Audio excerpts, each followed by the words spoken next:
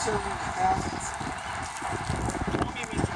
this is all the stuff. Well, this is all the stuff that you. Um, Show me, Mr. McCracken, how does it feel to be back home? uh, it feels pretty awesome, Mr. Safety. It feels really awesome. Thanks for calling the safety on video. Yeah, there you go, Steve. You're welcome.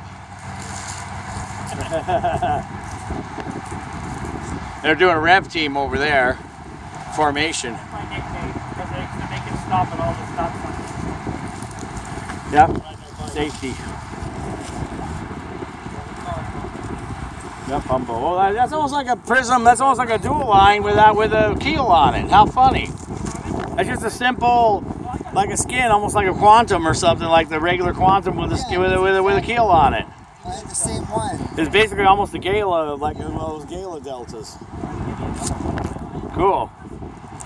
I'm gonna fly this because my friend bought it. Oh, it'll fly like a bat out of hell.